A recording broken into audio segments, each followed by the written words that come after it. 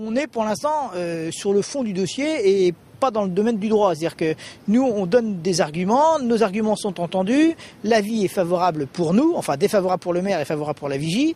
Si effectivement monsieur le préfet de Vendée allait contre l'avis euh, de la commission d'enquête et euh, les autres avis, puisqu'il y a par exemple l'avis de l'autorité environnementale qui a déjà été donné au mois de juin dernier, et ben là on aura une action juridique qui sera entamée contre les services de l'État. Ce qui va se passer maintenant, c'est que c'est le préfet euh, qui va se battre entre guillemets avec le maire de Brettingel, mais la vigie, elle va se reculer du débat.